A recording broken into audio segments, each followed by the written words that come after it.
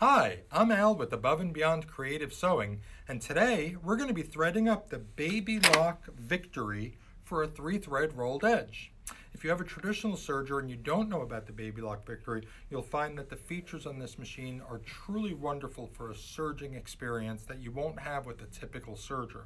The Baby Lock Victory offers you automatic thread tension air threading so you don't have to fuss with tweezers to do the loopers. Um, just really wonderful and easy to use. So let's go ahead and get started. The Baby Lock Victory comes with this wonderful quick reference threading guide which shows you all the stitches that you can do with your Baby Lock Victory and how to thread the machine and set it up for the over for the, um, the particular stitch you're doing. So we're going to be doing three thread rolled edge. So we have all of our parameters right over here, pretty straightforward to follow. We're going to need the right needle, which I already have in the machine. bring that up so I can show you. I have the right needle installed. I'm going to set my length to R for rolled and just under one millimeter. So we're going to turn this down to right about the one millimeter mark. It tells me that I should have my width set to 3.5, so I'll go ahead and set that. And I should have my stitch selector, which is right over here, set to D and that's going to be for my tension. So it makes it really automatic.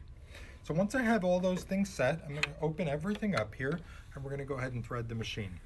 You have this nifty little button you push in right over here and you turn the hand wheel towards you until the threading pipes engage. And that gives the thread a path to go through the looper for you. So let's start with our upper tent, our upper uh, looper. Bring our thread down, bring it into the channel, into the guide, I'm going to drop the end of the thread right into the port here for the upper looper. Oops. And I'm going to move this switch to upper for upper looper and give the pump one push. That's going to tighten my thread up so I know it's gone into the looper. I'll pull down a nice length, push it again, and there is my upper looper already threaded without any tweezers. And I know that's kind of magical because most of the time you're fighting to thread that looper a lot, especially if you have all those little um, hooks that it has to go in before it gets into the looper. So this just makes it that much easier. So the upper looper's done. I'm going to switch the lever over to lower looper, and we'll go ahead and do the lower looper now. Just as easy, I put it right in the guide right there. Get it behind this guide right over here. Take the end of the thread, put it in the lower looper port, give it one pump, pull down on the thread. And voila my lower looper is now threaded. That's how easy that is. It's truly remarkable. Switch this back over to um, serging because I don't need it to be threading now. And let's get our needle threaded. So the needle is just as easy. Just come straight down here across under over here into the guide Make sure your thread end is nice and clean. So I'm going to give it a little snip with my scissors. And I'm simply going to thread my needle. Sometimes lowering the foot helps get in there a little bit easier.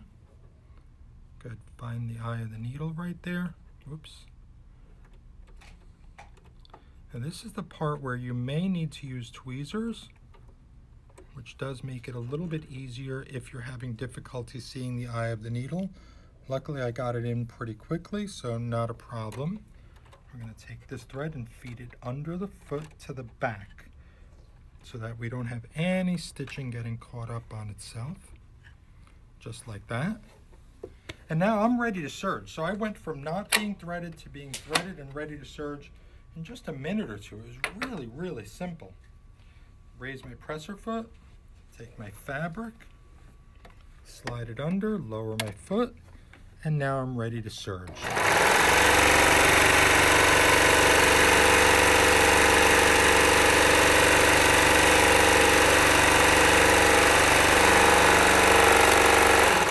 My cutter's right on the side so I can cut my thread. And look how beautiful that came out, front and back. And that's just how easy it is to use the Baby Lock Victory Serger. And most of the Baby Lock sergers we sell include the air threading. Some of them have a pump like I showed you today, some of them have a push button. But the point is it makes your threading so much easier, which makes your sewing more enjoyable. You're not gonna spend and waste all that time just getting your machine threaded you know, time is important. You know, you, you want to enjoy what you're doing, and sometimes saving the time on all the little minutia makes your enjoyment that much better. So the Baby Lock Victory will certainly add to that. Now, we have one item that comes with your Baby Lock Victory serger.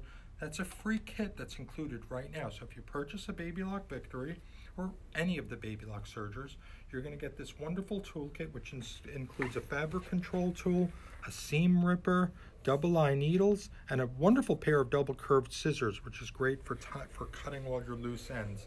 Makes it a lot easier. And this is actually a value of about $40, and this is included with any Baby Lock serger right now, including the Victory. So if you like what you see and you want a Baby Lock Victory, give us a call or stop into the store. We'll be happy to get you all fixed up with one. If you have any other questions, please don't hesitate to call and ask us. We're always here and always available to answer your questions. So I thank you so much for joining me today, and you have a wonderful day.